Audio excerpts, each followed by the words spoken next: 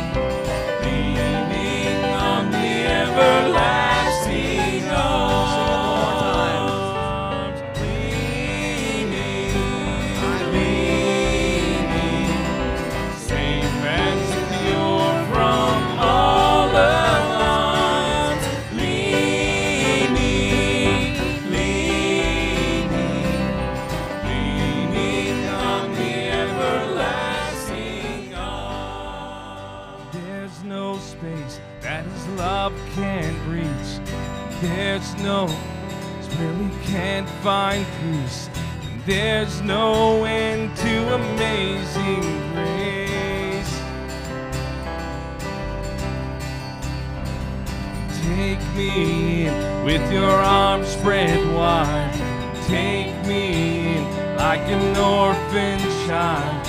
Never let go, never leave my side. Let's sing I am. And I am holding on to you. I am holding on to you. And in the middle of the storm, I'm holding on. Now sing that again. I am. I am to you. I am holding on to you. In the middle of the storm, I'm holding on. I am. And love like this oh my God to find. I am overwhelmed with the joy divine. Love like this sets our hearts on fire. Am holding on to you. I am holding on to you. In the middle of the storm, I'm holding on. I am. Sing that one more time. I am. I am holding on to you. I am holding on to you. In the middle of the storm, I'm holding on. I am. This is my resurrection song. This is my hallelujah come. This is why it's to you I run. There's no space. And there's no space that his love can't reach. There's no place where we can't find peace. There's no end to amazing grace. And I am holding on to you. I am holding on to you. In the middle of the storm,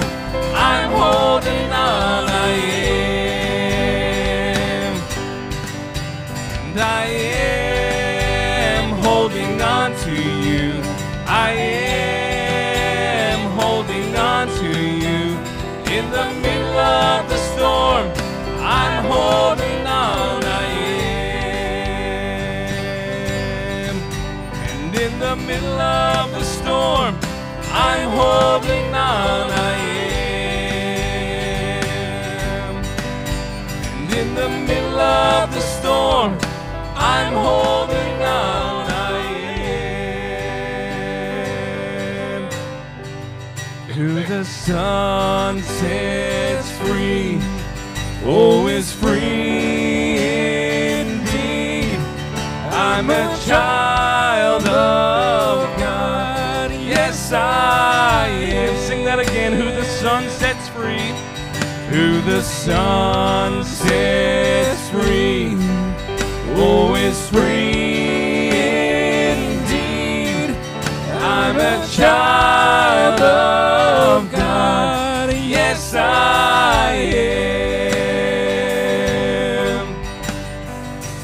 Who am I that the highest king would welcome? I was lost. I was lost, but he brought me. Know oh, his love Know his love for me. Let's sing it. Who the Son? The Son sets free. Oh, is free indeed. I'm a child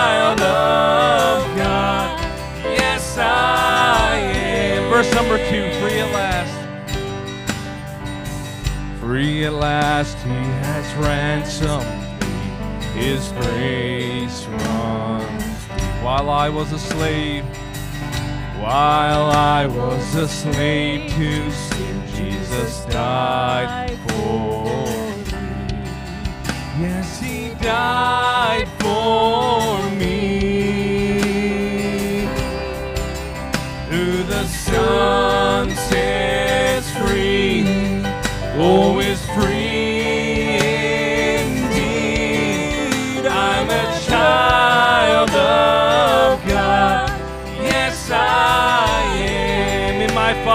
house. In my Father's house, there's a place for me. I'm a child of God. Yes, I am. I am chosen, not forsaken, and I am who you say I am. You are for me, not against me. I am who you say I am. Sing that again. I am chosen, not forsaken. I am who you say I am. You are for me, not against me. I am who you say I am.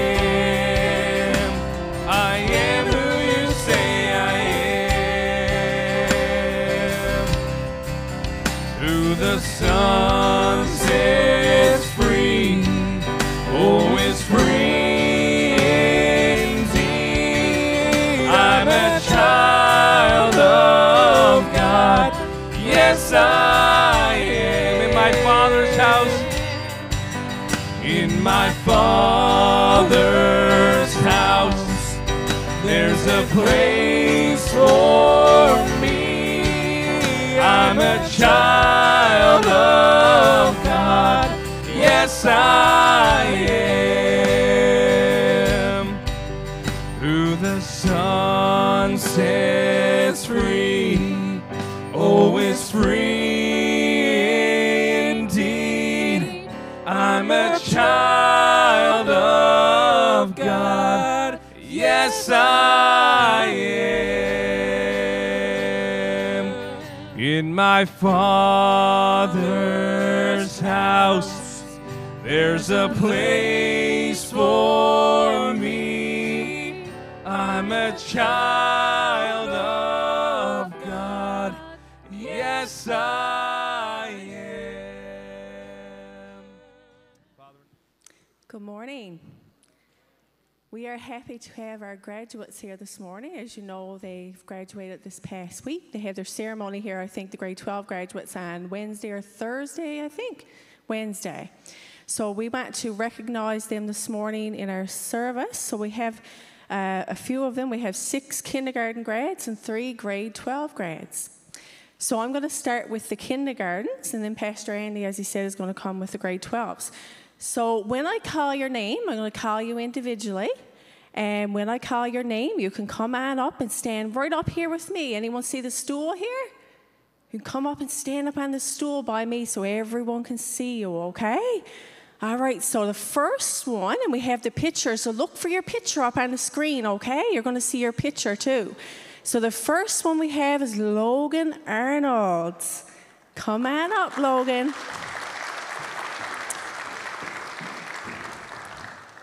All right. Logan's going to sit instead. You want to stand up, Logan? Stand up by Pastor Tonya. Right here, look. Stand up. There we go. Can everyone see him? Maybe we should have had a higher stool. But here he is, Logan Arnold. So, Logan, I'm going to ask you a couple questions, okay? So, what was your favorite thing about kindergarten? Learning my sight words. Cool, that's a good one. Learning his sight words. I remember those from back when my kids were in kindergarten. What is something you learned in kindergarten? Is there something special that you that you learned? No, it's okay. I bet you learn lots of things. Okay, so what do you want to be when you grow up? A police officer. A police officer. Cool. All right, we got a gift for you, okay?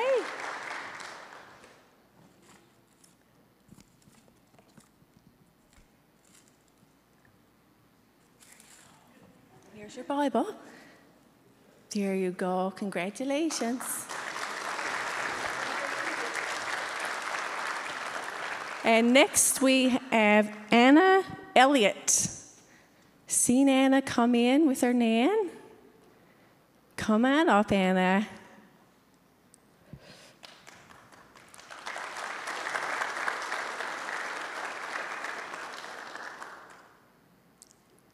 Anna's wearing a beautiful dress this morning. Here we go. Now, Anna, what was your favorite thing about kindergarten? Can you think of anything? No? Did you learn sight words too? Yeah? So, what's something you learned? Can you think of something you learned in kindergarten? Or really special memory? No? That's okay. I bet you learn lots, right? Just like Logan. Lots of fun things in kindergarten. So, what do you want to be? I bet you can answer this. What do you want to be when you grow up? Oops, sorry. A doctor. A doctor. Wow. We got a police officer and a doctor. So, I have a gift for you now, Anna.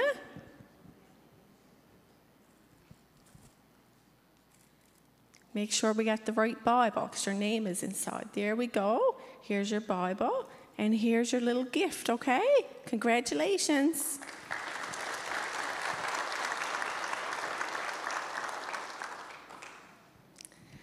And next we have Julie Foster.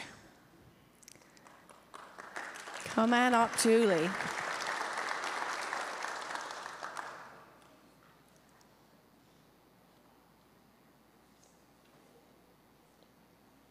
Julie got some new glasses. Looks so nice on her. Hi, Julie. Now, what was your favorite thing about kindergarten? Can you tell us? Favorite thing about kindergarten? Learning. Learning. That's good. Learning is good, isn't it? We all need to learn. What is something, okay, what is something you learned in kindergarten? Is there something you want to tell me you learned about? ABCs. ABCs. Do you love singing the ABCs? Yeah, it's fun, isn't it? Singing's fun. So, what do you want to be when you grow up? A skating coach. A skating coach. Cool, you must love skating. All right, let's get your gift and your Bible. Here we go. Here's your gift. Congratulations, Julie.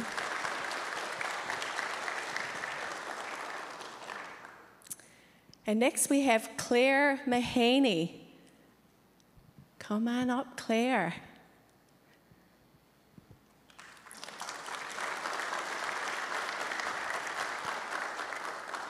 Hi, Claire.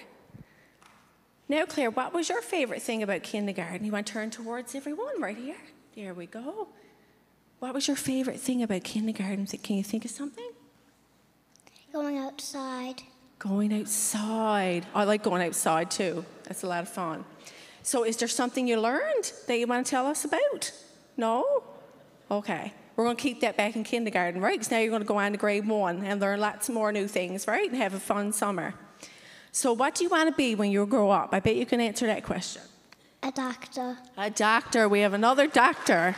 That's awesome. Now I'm going to get you your gift and your Bible.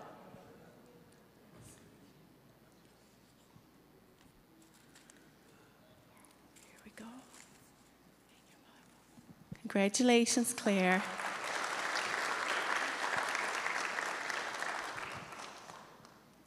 And next we have Ava Mills.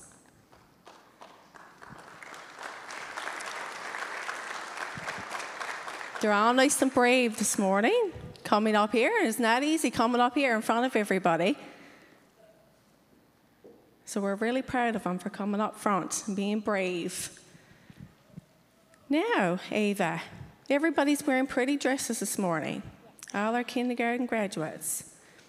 All right, so Ava, what was your favorite thing about kindergarten? Um, reading poems. Reading poems. So, what is something you learned in kindergarten? Can you tell me something you learned about?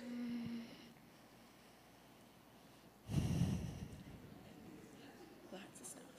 You learn anything in science? No. Never learned that yet, did you? Maybe next year, hey? Yeah, but kindergarten's fun, isn't it? Yeah, lots of fun in kindergarten.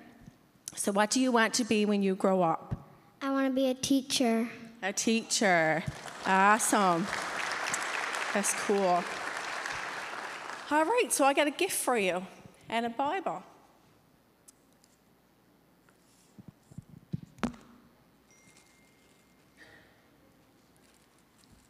Here we go. Congratulations, Ava.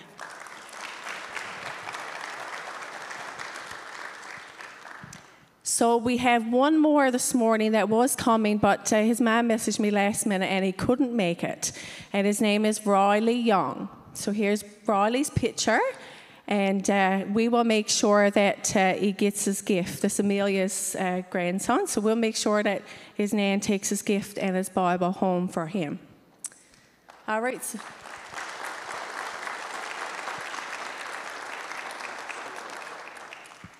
So now we're going to move on to our grade 12 graduates, and uh, I'm going to pass it over to Pastor Andy for that. So, No further ado, we're going to ask our first grade 12 graduate to come, and that's Heidi Beeson, and she's here this morning. And uh, so we're going to ask her to come up and uh, get her, uh, receive her grad Bible and her gift. Yep, you can give her a round of applause.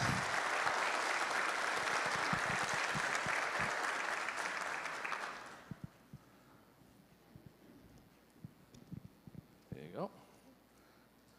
Thank you very much. Let's give her another round of applause as she takes her seat. Again, we're, we're glad that our, our grade 12s were able to make it this morning. Next, we have Mr. Tyler Fudge. You can come on up, Tyler.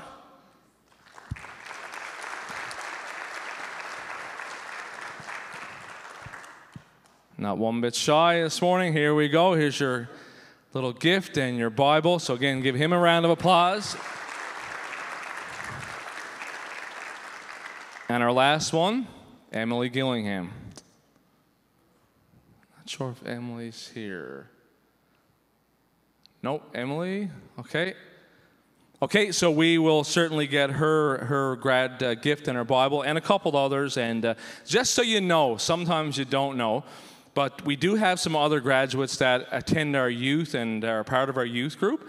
And, uh, and I just want you to know that there's sometimes things happen, and uh, you folks may never ever know, and uh, because again we don't always share all these things, but we are doing a grad, a little grad supper for some of the ones who couldn't be here today, some of them that attend our youth on Thursday night. So we will be doing a little grad thing for them. Again, some of them for whatever reason couldn't be here today, and. Again, so we will be doing for that. So, my prayer and my desire today is that you as a church, I'm going to ask Pastor Jeff, would you mind coming up and just having a prayer over our little, you know, kindergarten grads and our grade 12 grads as we transition back into a bit more worship? But our prayer as a church is that they would go on to do great things. And uh, again, God would use them each and every day of their lives. So again, one more hand of a, round of applause for our kindergarten grads and our grade 12 grads today. Amen. Thank you, Pastor Andy and Pastor Tonya, for uh, arranging this this morning, making contact with the students and their parents, and uh, making all this possible. So let's put our hands together for Pastor Andy and Tanya for doing that this morning.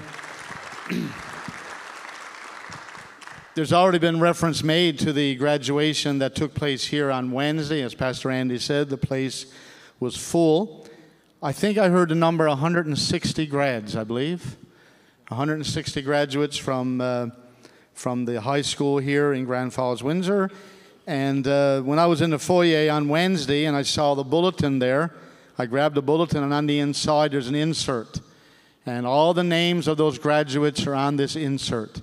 Now, I'm not going to take the time to read all these this morning, uh, but we're going to pray over this list today, and we're also going to pray for Uh, our kindergarten students as they begin their journey uh, of education. They got a lot of years ahead of them and a lot of challenges, I'm sure, and we need to pray for them.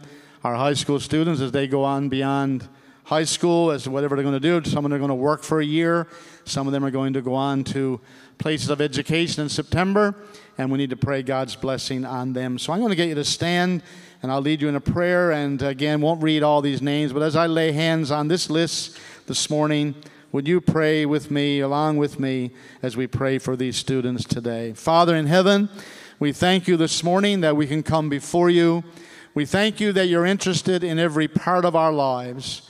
You see us, you know who we are, you know where we are, you know every detail of our lives. You saw us before we were born, you understand our lives, you understand and you see our circumstances today.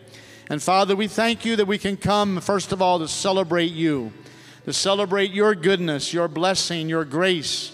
We thank you, Lord, that we have a place in Father's house today. That we have a heavenly Father who cares about us, who loves us unconditionally, who has a plan for each of our lives. You desire that we would know the will of God because you want to direct our paths. And this morning, as we come to this graduation emphasis service, I especially pray for our students today, those who are leaving kindergarten. I pray you will keep them safe over the summer. I pray, O oh God, that you will continue to lay your hands upon your hand upon their lives. Direct their paths, we pray. Keep them safe. Keep them from harm. Keep them from evil today. May there be a hedge around about them. And may your hand be upon them. We ask it in Jesus' name. We pray for our grade 12 students today, whatever plans they might have. May they know too that you are a God who has a plan for their lives and that they would turn to you that they would look to you today and they would ask you to direct their paths. I pray more importantly, Lord, that you would, they would make you Lord of their lives, that Jesus would be the center of everything they do. I pray for their parents, Lord, for those parents, guardians, grandparents, those involved invest, investing into their lives. I pray you give them wisdom and direction, and may they make the will of God the greatest ambition of their lives. We ask this now in Jesus' name. Amen. Amen. Bless you this morning. Well, good morning again. So, uh, this morning, I know it's graduation service, but uh, I really uh, felt upon my heart to speak to the parents this morning, maybe even grandparents. So, um, the title of my message this morning and if any parents would like to stay out and let your kids go out and you'd rather stay in, that's fine. I'd love to have all the parents here that I can. But um, the title of my message this morning is How Does the Lord Instruct Us to Raise Our Children? And if you're a parent or a grandparent here this morning, maybe you can raise your hand. Parent, grandparent, planning to be a parent, keep your hands raised for a minute. Awesome. So, most of you here are parents. And I know maybe not of small kids, we have some parents here of small kids. But as parents and even grandparents, we want the very best for our children. I'm sure you would agree. And each one of us has worried, haven't we, about our children? We worry about our children. And it starts right from day one, and it goes on and on in their life, no matter how old they get. It never ends. If you go back to when you were expecting your first child, you probably felt nervous. You wanted to do everything right. You talked with other parents, sought advice, asked questions, a lot if you're like me, and of course, heard all the do's and the don'ts. Like, don't be afraid to let the baby cry. Have you heard that before? Or don't pick them up over every little whimper. I bet you we've all heard it. I didn't follow those two very well, but I remember hearing them a lot from my mom or from my nan. I remember when I was expecting my daughter Alyssa, who is now 19, which I can't believe, I read every book that I can get my hands on. I jo- joined a prenatal class. I asked questions. I wanted the best brand of diapers and so on. And some of those things were probably a bit silly looking back. But I wanted to do whatever I could, give her the best that I could. And as she grew, I worried about her getting hurt. I worried about her going after school and all the other things that we tend to worry about. Sound familiar? We all do the same thing, don't we, with our kids? We want our children to have the best that they possibly have. Every parent does. Now, it doesn't end there. If your mind can go back, we have to teach them so many things like talking, walking, sleeping schedules, potty training, manners, kindness, preparing them for school, homework. Then there's extracurricular activities. There's a whole list of those. There's swimming, ballet, hockey, voice lessons, karate, gymnastics, and the list goes on and on and on and on. It's kind of exhausting. And for the record, my kids weren't in all those things. But today I want to share with you how this book, God's Word to us, instructs us how to raise our children. It doesn't tell us about the best diapers or what we should do when our child wakes up during the night, like mine still does at four years old.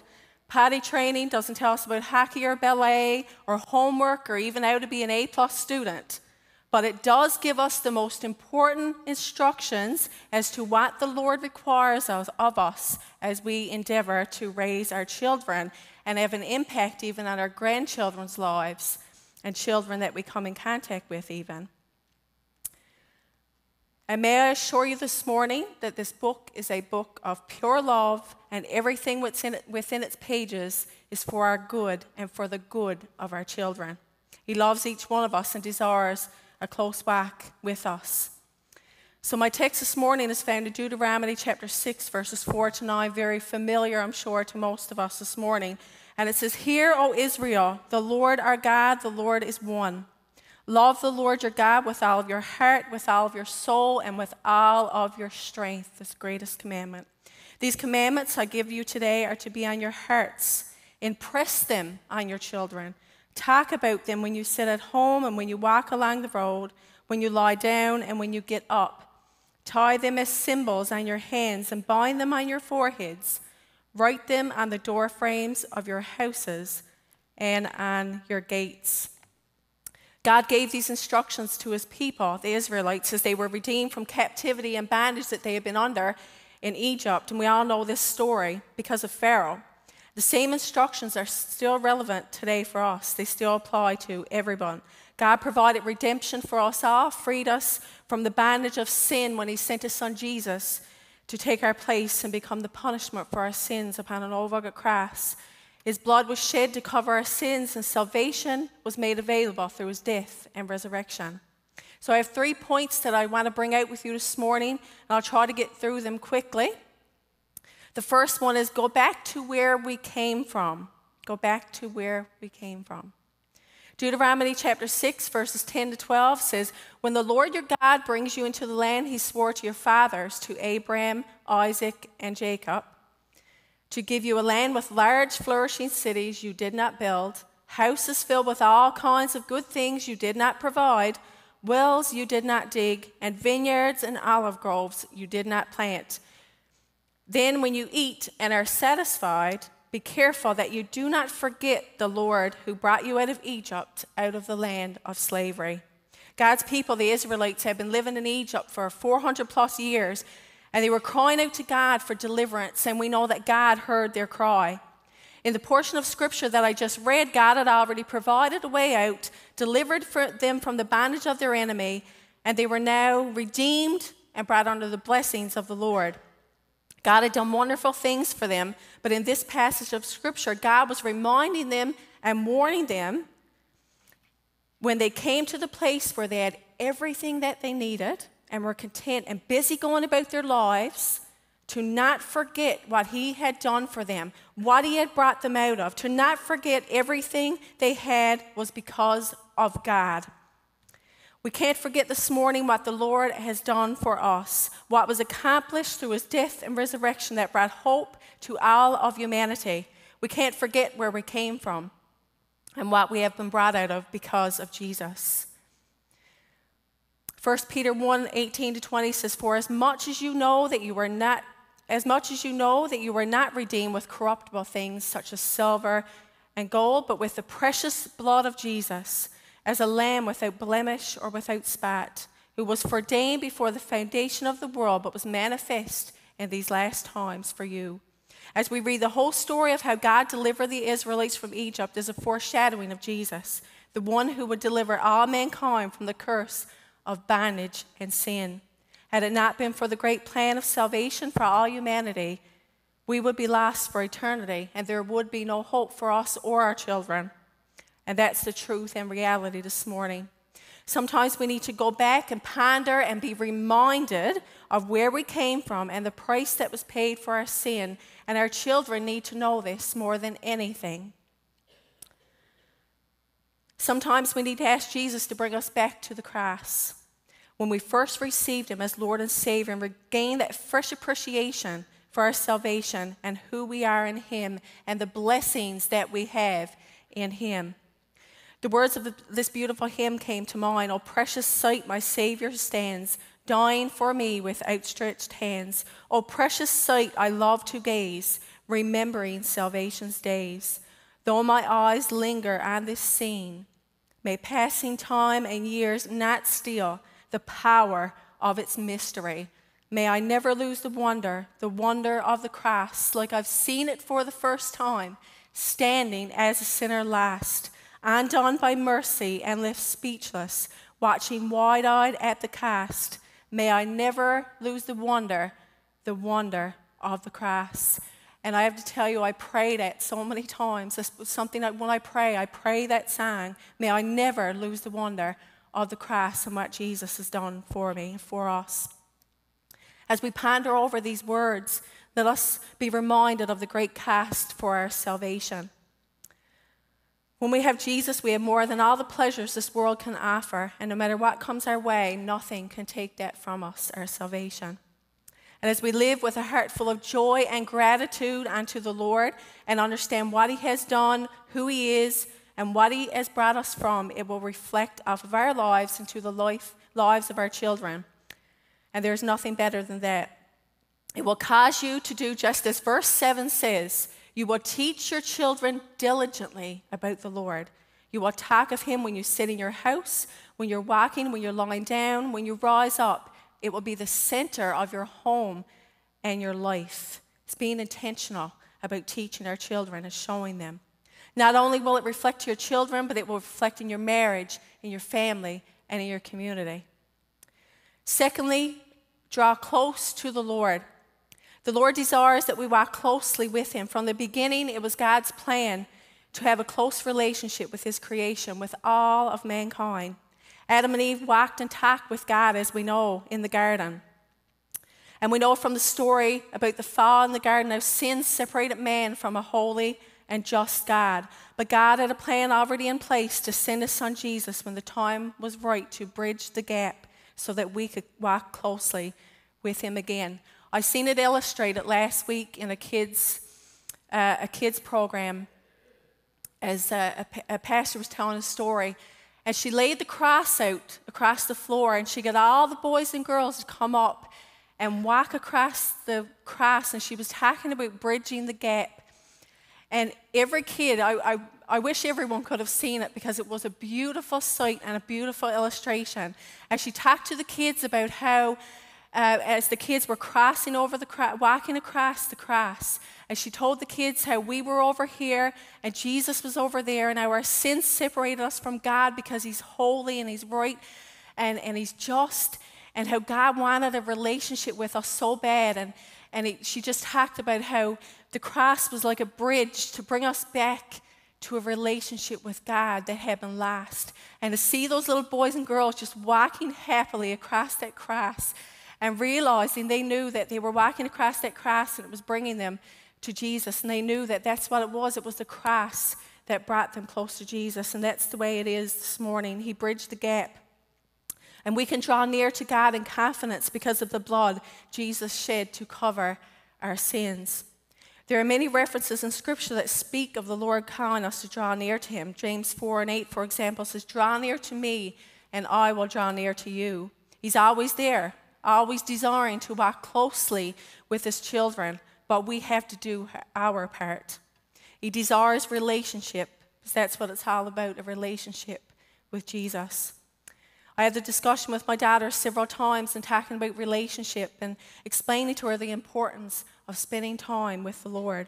And I refer to relationships we have with other people. And we can't have a relationship with someone if we're not in conversation with them, if we don't talk to them and spend time with them. And so it is with God. If we choose not to talk to Him or spend time with Him in prayer, spend time in silence and listening to His voice and spending time in His presence, how is that a relationship this morning? But relationship requires conversation, it requires spending time. And as we spend time with Jesus, we become more like Him, and there is always deeper that we can go in our relationship with Him, always deeper. There is no limit this morning. There are two things that are vital to our relationship with the Lord, and you might, not, you might know what I'm going to say, and that's prayer and the Word of God, reading and studying the Word of God. I remember my uncle, it's almost it's embedded in my mind, and he always said to me, he used to always say to us, actually, me and Andy, he was our mentor, and he always used to go, prayer and the Word, prayer and the word. And that's where it comes from. It's vital to our relationship with the Lord. And if we're going to have an impact on our children and our families and our community. And as we, uh, as we make prayer and reading the Word of God a necessity in our lives, it changes us to be more like Him. As I said, spending time in His presence humbles us, He molds us, shapes us by His Holy Spirit as we submit to Him and allow His will to be accomplished in our lives, allow Him to work in us And the fruit of the Spirit will then be evident in our lives. And we know the fruit of the Spirit is love, joy, peace, patience, faithfulness, self control, meekness. Isn't that what we want our children to see in our lives? Isn't that what we want our families to see and our community to see? The fruit of the Spirit. It only truly comes as we live by the Spirit. It is a disciplined life, but well worth it. There is nothing to gain, nothing, everything to gain, but nothing to lose. I can assure you of that. God's word teaches, instructs, and corrects us. We gain wisdom and knowledge, understanding, and so much more. 2 Timothy 3 and 16 tells us that all scripture is God breathed and is useful for teaching, rebuking, correcting, and instructing in righteousness. We live in a society where our children and even as adults constantly hearing, aren't we, and seeing and watching, learning so many different things. More than ever before, because of the advance in technology and the easy access to everything coming from all angles. And you can picture that this morning with me. And although there is good, don't get me wrong, there is so much out there that can cause confusion. But God is not the author of confusion. His word is clear and it is truth. He is truth. And His word is without error. And when we base our beliefs upon the written word of God and follow His word, live by His word, I tell you this morning that we are headed in the right direction for ourselves and for our children and our grandchildren. Proverbs 14 and 12 says, There is a way that seems right to man, but in the end it leads to destruction.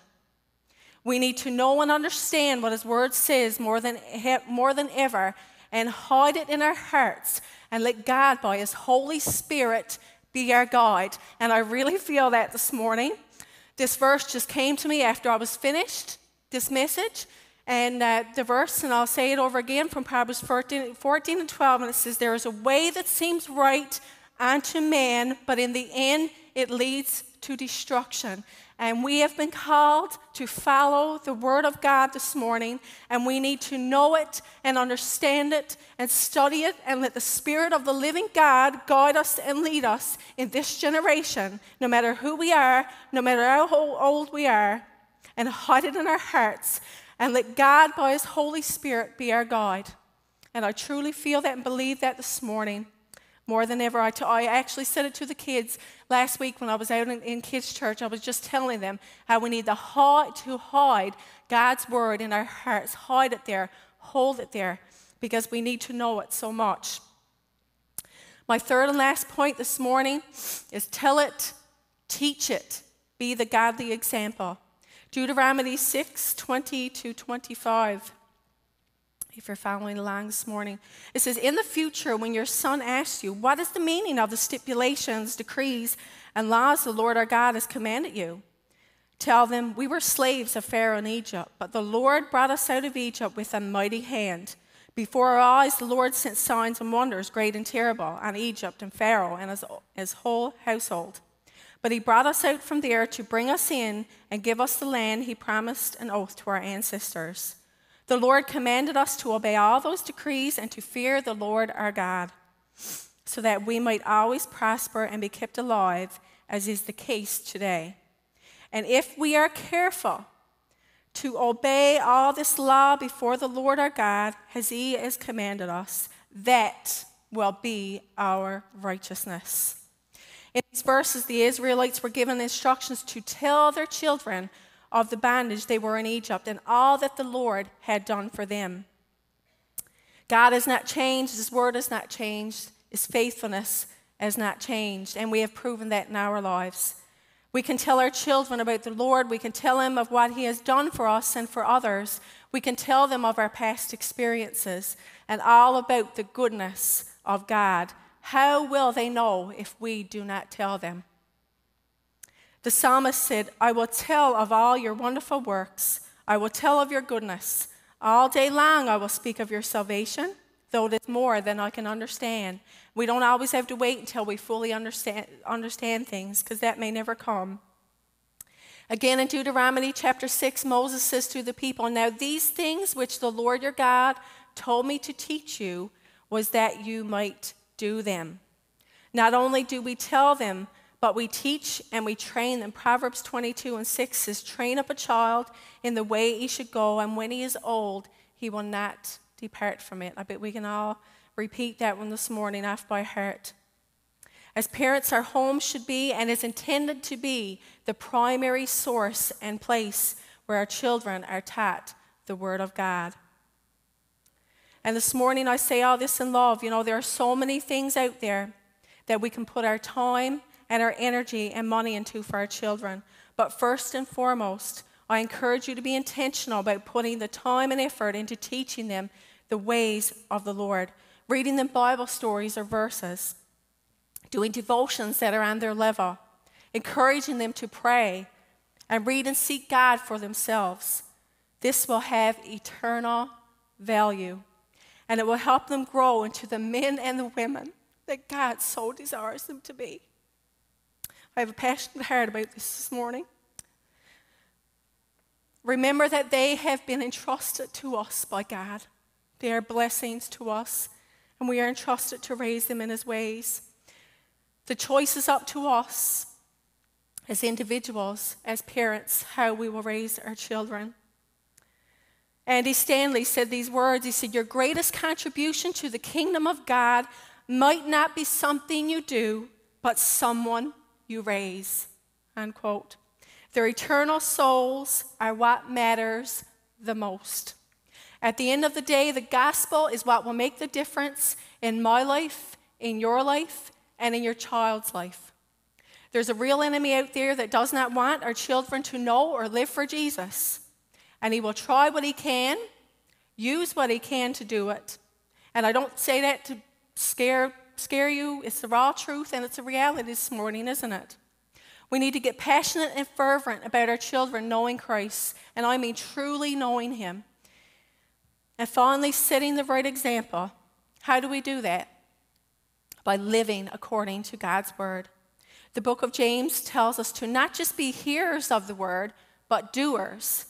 Otherwise, you are only fooling yourselves. Last Sunday, our boys and girls memorized verses for Father's Day. And Matthew memorized a verse from Ephesians 5 and 1 that says, Be imitators of God as dear children and walk in love. And you know what? He was, I'm an emotional person, so I get, when I think about kids doing anything or, or speaking or getting the word of God into them. It just, it do truly excite me. And he was going around all week saying that. And I picked out another verse and I said, We're going to learn another one now. But it said, Be imitators of God as dear children and walk in love as Christ loved us and gave himself up for us, a fragrant offering and a fragrance to God. That's the rest of that verse in Ephesians. And I pondered over that part that says, Be imitators of God as dear children. I couldn't think of a better illustration this morning. We know that children imitate their parents, don't they? Imitate others, but they imitate their parents. They look up to mom and dad, they look up to nan and pop. They watch us and they pay attention to everything that we do and they copy what we do, whether good or even bad sometimes. We are their greatest teachers, and we set an example by the way we live, by the things we do, by the things we say. They know what is most important to us. They are watching and they are listening to how we respond and how we handle things, how we talk to and about others. I got a screen there. I wanted to, uh, something I seen this week on Facebook, and it really, really stood out to me. And it says, Our kids are watching to see if we really believe what we say.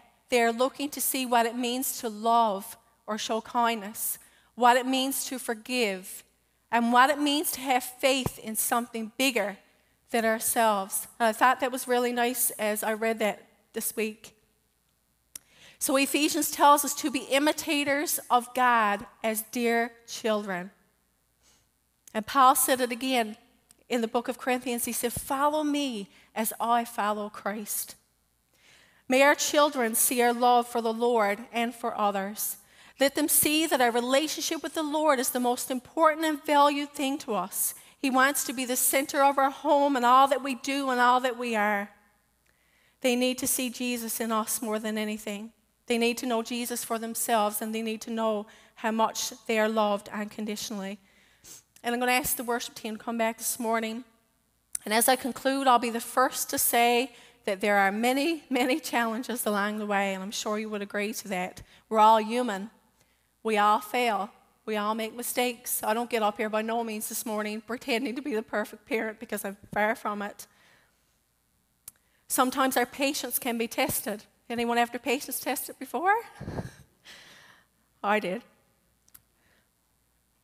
Whether our kids are young and old, I think that can happen. To be transparent, there are times that I felt like I failed. There are times that I felt like I could have done better. Times when I've made wrong choices and wish that I could go back and change them, but we know that that's not possible. Sometimes I tell, well, Andy knows this, our house is like funny farm. I say it lots of times, you feel like tearing the hair out of your head and run away. But that's what it's like when you have kids. But through it all, God is so faithful. I remember I decided I'm going back now 19 years ago. I remember when I had Alyssa, when I first found out I was having Alyssa. I remember praying over her life and I promised the Lord, I made a promise to the Lord that I would raise her to know Him. If nothing else, I would raise her to know the Lord, know the ways of God, and serve Him.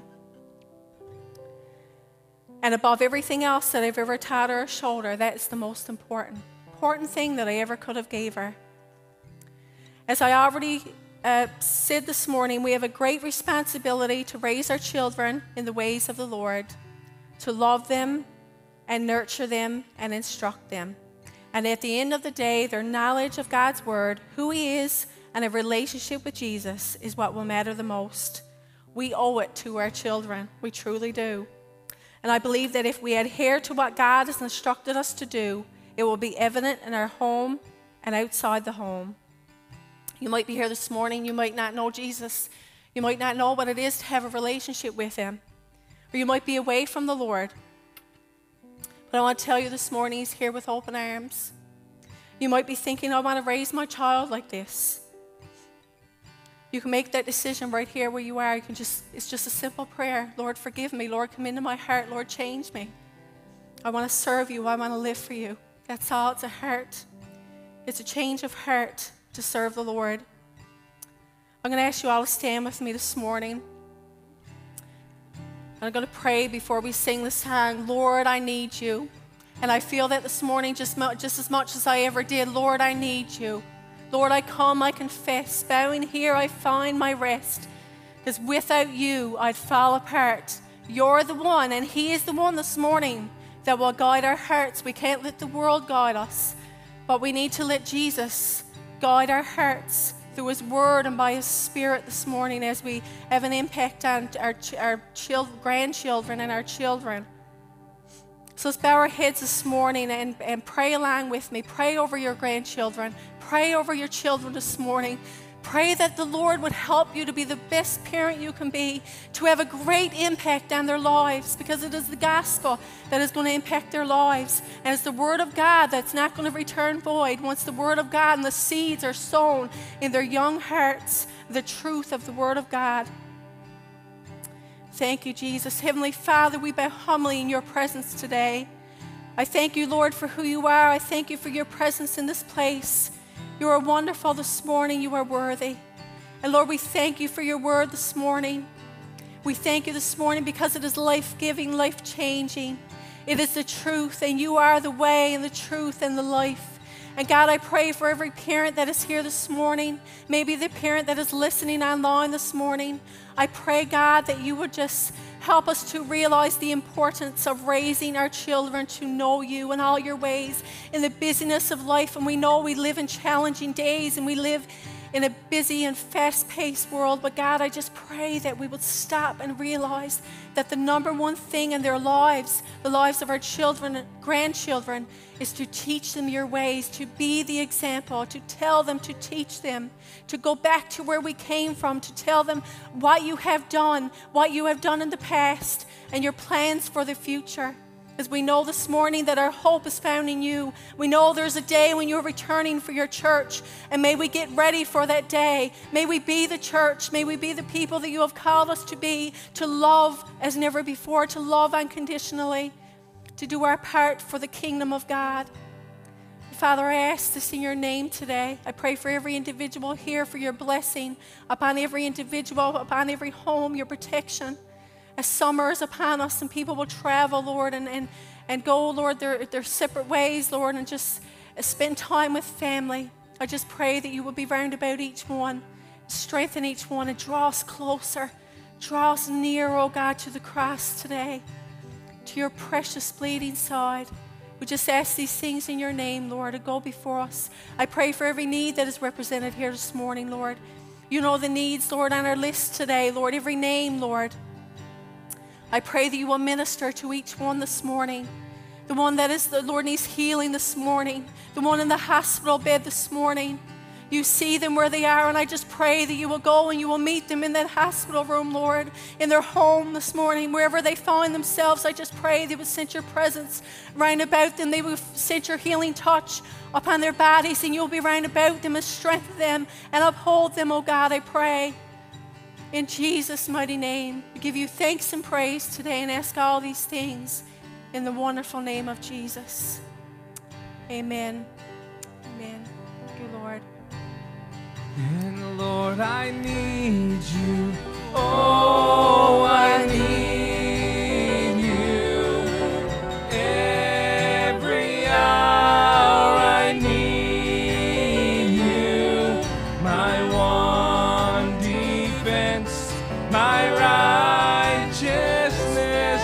Oh God, how I need. Sing that again, Lord, I need.